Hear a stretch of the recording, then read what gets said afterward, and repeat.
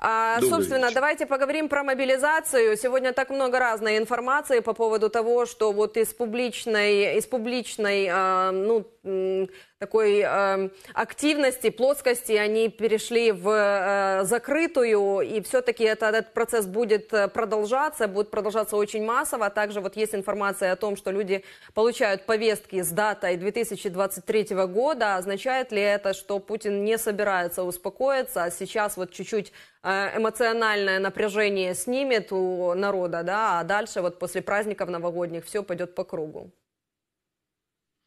Э, ну, видите ли, ведь э, сама по себе мобилизация началась не от хорошей жизни, э, потому что никакая это специальная военная операция не состоялась, а, а состоялась тяжелая, кровавая, преступная война.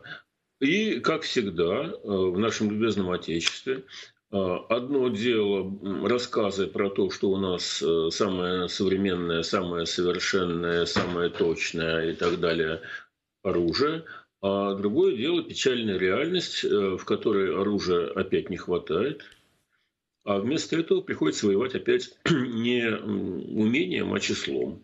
А, ну, слава богу, в России 145 миллионов человек, так число большое. А, и после того, как Путин 8 месяцев делал вид, что он проводит специальную военную операцию, ему пришлось признаться, что да, это война. Причем это война мобилизационная, война с помощью пушечного мяса. Поскольку пушечное мясо на войне расходуется и быстро, а, Ему, конечно, придется проводить еще и еще одну войну, волну мобилизации в расчете на то, что уж чего-чего населения в России больше, чем на Украине. И это правда. А, в России людей больше. Зато Украина воюет лучше. Зато у Украины более совершенное, более дальнобойное, более точное оружие. А, и, естественно, Россия теряет бойцов больше, чем Украина. Поэтому мобилизация будет продолжаться в той или иной форме, в виде второй волны, в виде вяло текущей, потихонечку выскребающей мобилизации э, типа по сусекам поскрести.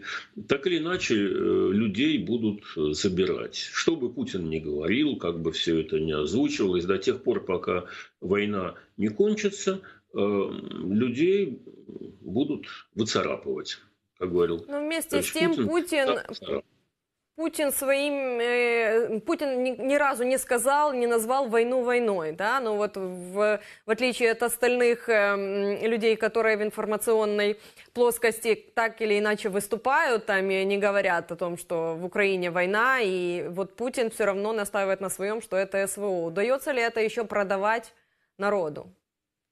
Да нет, конечно. А, ну, чтобы, э, чтобы, чтобы вы не думали про русский народ, это все-таки не полный идиот. Другой вопрос, что мозги промыты до белизны, и туда залит какой-то содовый раствор. А, это да. Но люди же понимают, что это война, что на ней гибнут люди. Кстати говоря, мобилизация очень непопулярна. Сразу после ее объявления рейтинг Путина упал на 7%. Но он по-прежнему высок. Вот это надо понимать, что он по-прежнему высок, хотя идет под горку. А, и люди, которые смотрят телевизор, по-прежнему думают, что они за границами России, на территории суверенного, независимого государства с международно признанными границами каким-то загадочным образом защищают Россию от угрозы НАТО. А, многие в это верят. И некоторые даже идут э, добровольно в мобилизацию. Шойгу сказал, что 13 тысяч добровольцев. А, но сопоставьте это с семью. Это как-то не очень много. Вы простите, но это как-то не очень много. Я вот как раз вас и приглашаю сопоставить это с тем, что 700 тысяч э, бежали за границы Отечества для того, чтобы не попасть в эту мобилизацию. Так что люди разные. И вот та часть, которая настолько зомбирована телевизором, что готова убивать и погибать, ради Владимира Владимировича Путина. Ну, правда, он им объяснил, что это ради Родины, и они, видимо, поверили. Эта часть составляет меньшинство. Поэтому идея мобилизации не популярна и неизбежна. Эм, чем еще он будет воевать? Э, новых видов оружия не появится, новых союзников не появится. Э, ну, возможно, привезут э, снарядов образца 50-х годов из э, Северной Кореи и ракет более современных, но, стыдно сказать, из Ирана. Это да. Но у Украины гораздо больше союзников, гораздо больше новых видов вооружения. И я думаю, что здесь более или менее понятно.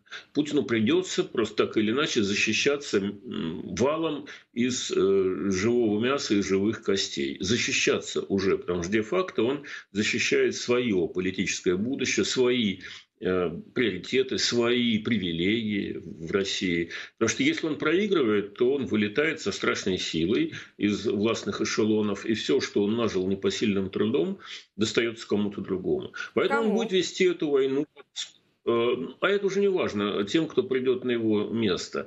Эм, совершенно несущественно, как кому это все достанется. Или просто превратиться в пепел. Не знаю. Но важно то, что проигрывать э, Путину нельзя. Он это понимает. Поэтому он будет все больше и больше людей расходовать своих в надежде, что или выдохнется Запад, или выдохнется Украина, или Ишак умрет, или Падишах умрет, э, или кто-то научится говорить э, из э, Ишаков. На самом деле это просто такая ситуация затягивания, ну, можно так сказать, цитатой из Штирлица, что Путин в бункере оттягивает свой конец.